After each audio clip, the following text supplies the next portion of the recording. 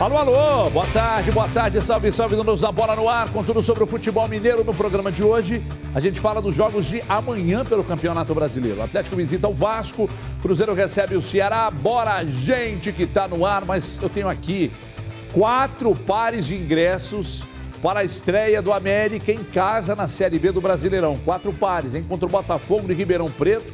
Bola rola exatamente no dia do aniversário do América de 107 anos. Então é o seguinte, mande seu nome completo para o nosso Bandizap que está aqui embaixo, manda para cá e daqui a pouco no final desta edição eu conto o nome dos ganhadores aqui.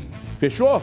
Então quatro pares para América e Botafogo de Ribeirão Preto, jogo no dia do aniversário do América, que é hoje lá no outro. Parabéns ao América aí, parabéns a um cara que eu acho que representa bem o América, que é o grande Salum, que eu sou fã incondicional, acho o Salum. O Salum tinha que ser presidente da República, no mínimo governador do Estado.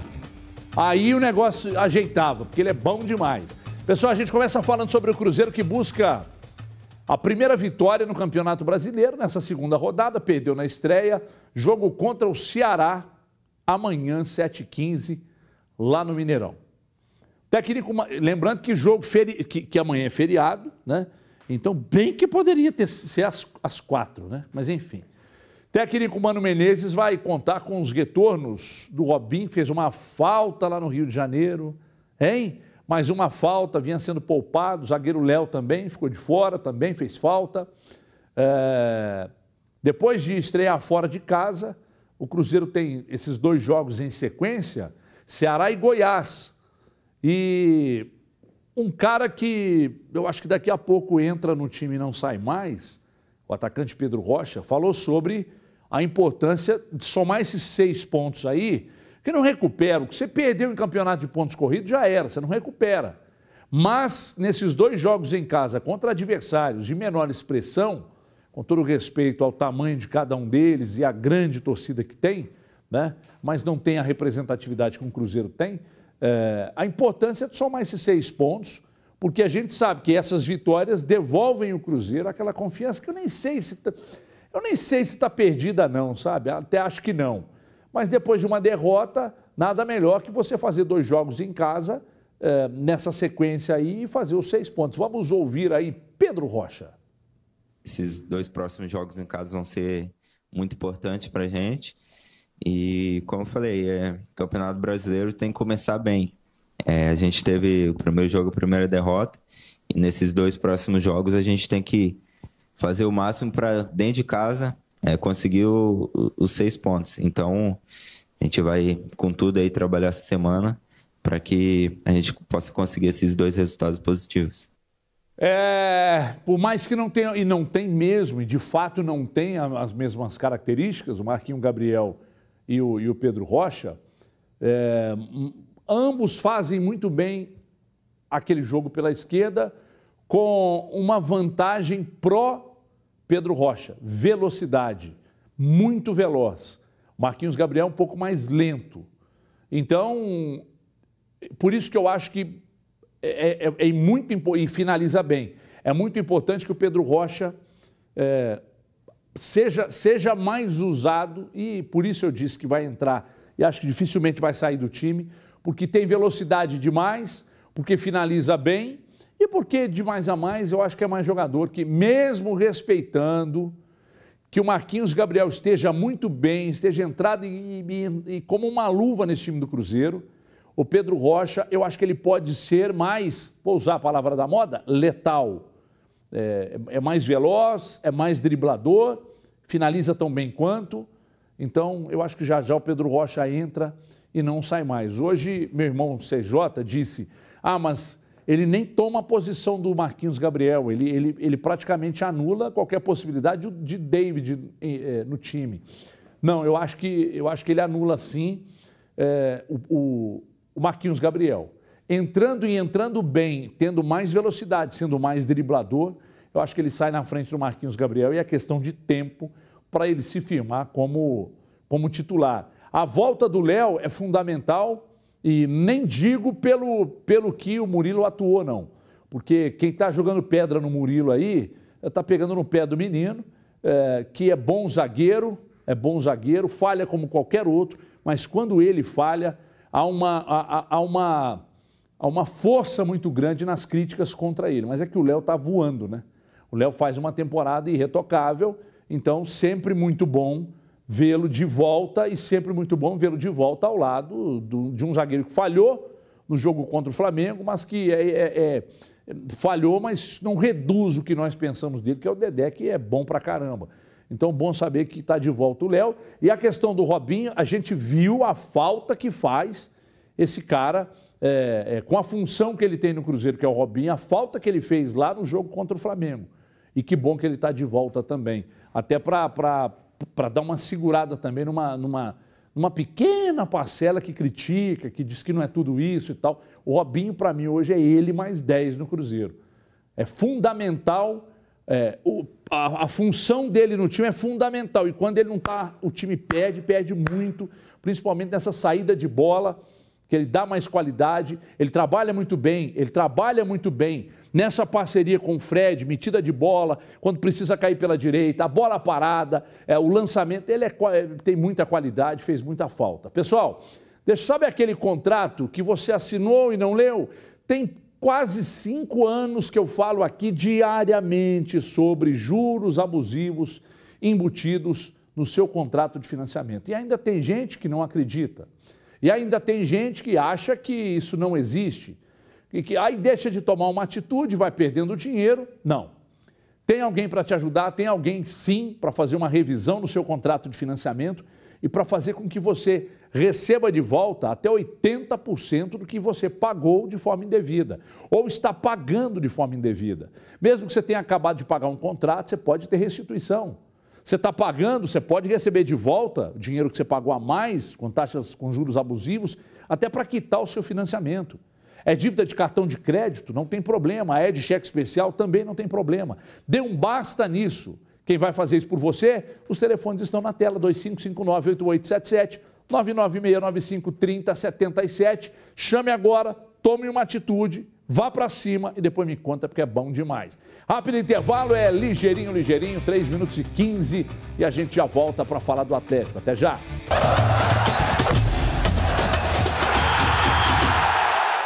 Meu amigo, estamos de volta e agora eu, eu quero fazer algumas perguntas para você, embora você não possa me responder. Aliás, pode responder, eu que não vou saber a resposta. Você já ouviu falar de liquidação de, de carro, liquidação de roupa, liquidação de calçado, mas e liquidação de fazendinhas? Você não, nunca ouviu falar? Mas agora eu vou explicar e vou contar para você sobre a liquidação de fazendinhas da Francisco Rocha Imóveis. Tá bombando! Já é recorde em vendas de fazendinhas em todo o estado de Minas. Né? Aliás, ter um terreninho perto da prainha, perto da represa de Três Marias, é para quem gosta de uma bela pescaria, de nadar, de praticar esportes náuticos, também para quem gosta de roça, fogão a lenha, criar um gadinho, é ou não é? Uma galinhazinha solta ali no terreiro. Então, todo mundo gosta, o mineiro gosta, está na nossa cultura, é tradição. E uma coisa que é tradição também, sabe o que é? Francisco Rocha Imóveis vender essas fazendinhas para você com base em liquidação. Muita água, muita terra e pouco dinheiro. Vamos realizar esse sonho aí, gente. Você pode. Você pode. São 30 mil metros quadrados de terra boa, a poucos minutos da prainha, da represa, um sinalzinho petitinho assim, e mensais a partir de 330 reais. É muita terra, é muita água e pouco dinheiro. Fica fora dessa não. É a maior liquidação de fazendinhas do país. Marque aí com a patroa, com os filhos né? Leva lá, vai lá conhecer. Final de semana está aí, vai lá, conhece, depois fecha o negócio, depois se conhecer. Ligue agora nos telefones que aparecem na sua tela. 3201-2600, 3201-2600, ou chama no WhatsApp, que é o WhatsApp mais fácil do mundo. 99910 1515. 99910 1515. Francisco Rocha Imóveis, esse nome é seu conhecido e é confiável. Vá para cima e faça um grande negócio, porque essa eu garanto, é um baita de um negócio. Vamos ser vizinhos lá. Pessoal, vamos falar sobre o Atlético que visita o Vasco amanhã, São Januário. Daqui a pouco vamos ouvir o, o atacante Luan, porque agora eu quero falar de uma informação repassada agora há pouco pelo Denilson Show no jogo aberto lá em São Paulo. Segundo o Denilson Show, ele recebeu uma informação de que o Santos teria oferecido Copete e Sacha na troca pelo Ricardo Oliveira. Copete e Sacha na troca pelo Ricardo Oliveira. O Santos continua insistindo. O Ricardo Oliveira recentemente deu declarações aqui de que estava feliz, que não queria sair, blá blá blá e tal. Só que a gente não sabe, né? As pessoas mudam, a cabeça, a gente não sabe. É, se, se parece que o Santos ainda não desistiu. O presidente Pérez nunca negou veementemente que gostaria de tê-lo de volta no Santos. Então agora o Denilson raramente dá uma informação, mas quando dá, as informações são, são quentes. Erra como qualquer outra pessoa, porque as fontes também erram.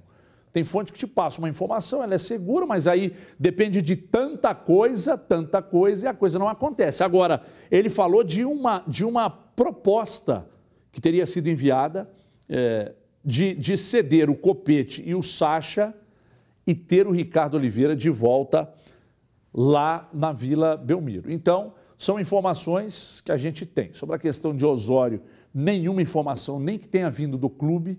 Na verdade, essa questão do Osório aí, quem chegou com essa informação é de que é, é quem chegou com essa informação foi o Léo Gomide, que me passou essa informação, que aliás, né, prestígio do Léo Gomide e a credibilidade é, sustenta, é, são sustentadas por um trabalho muito sério. Então, ele buscou essa informação e recebeu a seguinte resposta: é, já tenho autorização para negociar, é um agente que, que teve autorização para negociar é, em nome do, do, do é, negociar com, entre clube e Osório.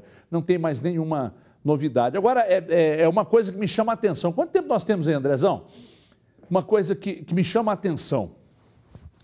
Já falei isso aqui en passant há alguns dias, mas acho que vale a pena falar de novo. Você vai lá e pega um cara que estava na sua base, traz para resolver um problema, tapar um buraco dentro do clube, que é o Rodrigo Santana. Aí o Rodrigo Santana precisa, mesmo que, se, mesmo que, que, que se passando por interino, ele precisa dar uma resposta. Então ele fica numa situação meio desconfortável para tomar algumas atitudes pra, pra, porque ele é interino. Então veja só, ele tem que trabalhar pegando um, um, um processo mal elaborado pelo Levi, uma bagunça só, daí ele pega e tenta organizar em um curto espaço de tempo. Estou falando do Rodrigo Santana, num curto espaço de tempo. Quando ele começar a organizar, porque ele tem que organizar, que ele precisa ele precisa de uma resposta. Quando ele começar a organizar, chega outro treinador, e esse treinador que chega, chega com um monte de. Com um monte não, com algumas contratações, reforços. É uma briga ruim para o Ricardo, para o Rodrigo Santana, né? Goleiro Vitor rebateu algumas críticas em que têm sido feitas a ele é, sobre atuações aí é, na temporada. Vamos ver. As críticas, elas são normais dentro de um né, dentro de um cenário que é o futebol.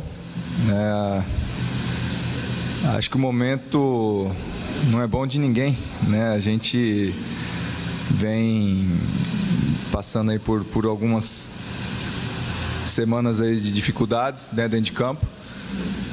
Mas em relação à, metodologia, em relação ao trabalho, cara, é, é, eu acho um tanto quanto injusto porque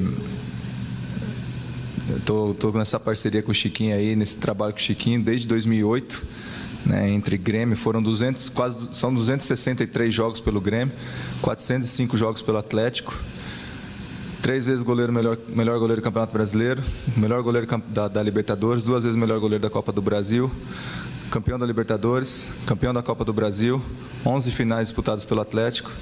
Então, assim, se for de falar de metodologia, tem que falar de metodologia desde 2008. Né? Então não pode questionar toda a sequência de um trabalho, tudo que vem sendo realizado por quase 650 jogos, né, 11 anos de trabalho, né, por, por um mês onde as coisas não deram certo para ninguém. Então, é, acho que antes de criticar, você tem que ter base, tem que ter critério. Ô, Vitor, a base e o critério é aquilo que a gente está vendo nos jogos. A base e o critério para críticas, ninguém está dizendo que você é um frangueiro, que você não pega nada, que você tem que ser tirado do gol do Atlético. Não é isso. Você não tem história, que nada, que tudo que você fez no Atlético não deve ser respeitado. O Vanderlei Luxemburgo ganhou tudo. Tudo. Tríplice coroa em 2003 e o escambau de Madureira em outros clubes. Mas os métodos de lá para cá mudaram. A metodologia aplicada, eu conversei com um preparador de goleiros monstruoso. E ele me disse, Everton, a preparação é ruim. Aí eu vou, aí, então eu fui buscar informação num especialista. Agora, você para mim é o maior goleiro da história do Atlético.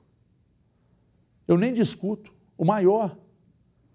Mas a, o que a gente está vendo, o que todos estão criticando, só que tem gente que não critica. Acha que não, está pegando pesado. Então, mas você pode criticar todos, por que não, Vitor? Se amanhã o Luan jogar mal, critica o Luan. Se amanhã o Léo Silva jogar mal, critica o Léo Silva, o Hever, to, todos eles. Então, é, o que a gente vê nos jogos e a base dessas críticas está no que a gente está vendo. Então, o, o, a, a, metodologia aplicada pelo Luxemburgo lá atrás, ela, ela não funciona mais hoje. E por isso, talvez, o Luxemburgo não, não venha recebendo convites para treinar clubes porque ele ainda acha que os métodos são aqueles e que nada mudou de lá para cá. É isso. Entendeu? Ó, deixa eu falar os ganhadores aí de, eh, de ingressos para América e Botafogo de Ribeirão Preto. Fabrício Perido Marques, final 33, 33. Gilmar Camilo Santana, final 4299. Fernanda de Cássia Souza, final 0737. E Lucas Felipe Ribeiro, final 5852. Nossa produção vai entrar em contato, todo mundo buscando aqui no alto da Raja 2221, Raja Gabalha 2221, para o outro aniversário do América, além do jogo, uma grande festa. E amanhã a gente conta tudo aqui na tela da Band a partir de meio-dia e 50. Logo mais às quatro, Brasil, gente Minas, hein? Imperdível! Eu te espero às quatro aqui na tela da Band, amanhã, meio-dia e 50 de volta. Um abraço, meu povo. Tchau, tchau.